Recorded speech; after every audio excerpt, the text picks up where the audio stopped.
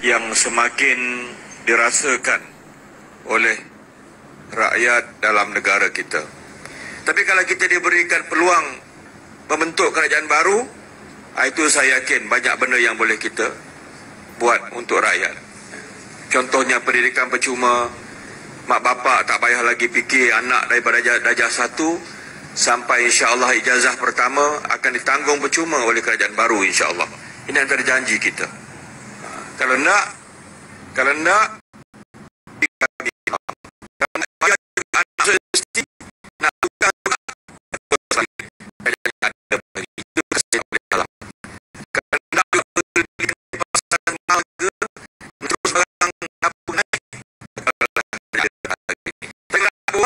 ah, tolong kami. Bila kami ada kerajaan kami boleh bantu rakyat. Mungkin saya ni Saluddin Ayub yang cakap ni macam-macam dan yang lain tak kenal sangat ya saya faham so kami ni bukan menteri bukan bekas menteri tapi kalau macam-macam kenang balik paling tidak pun Tun Dr. Mahathir Mohamad yang pernah jadi Perdana Menteri 22 tahun ya. Kalau ingat baliklah mungkin wajah Tan Sri Muhyiddin Yassin yang pernah jadi menteri besar tiga penggal di Johor ini.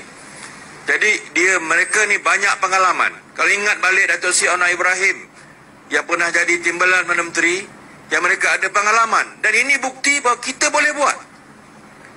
Yang penting kita ada dasar, kita ada polisi, kita boleh bawa ke parlimen dan kita boleh ubah hidup rakyat.